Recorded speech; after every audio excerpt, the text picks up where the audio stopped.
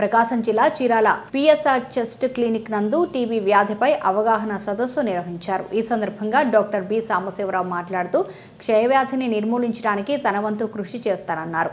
సమస్త ప్రజానీకాన్ని క్షయవ్యాధి బారిన పడకుండా ప్రభుత్వం చేపట్టే కార్యక్రమాన్ని అమలు చేయడం ద్వారా టీబీ రహిత భారతదేశంగా మారుద్దామని ప్రతిజ్ఞ చేయించారు.